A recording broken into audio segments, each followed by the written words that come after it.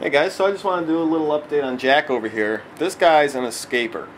Now, I don't know if you can see, but you see his uh, collar hanging there? See how that one clip... Alright man, what you doing? Too close now. Okay, so this one clip, I've got a collar and a harness. And the harness used to have a metal clip here. That metal clip is right here.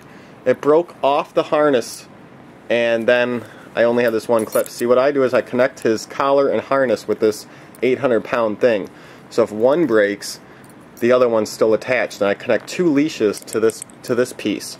So that way if one leash breaks or if one collar or harness breaks, he's still connected because this guy breaks everything.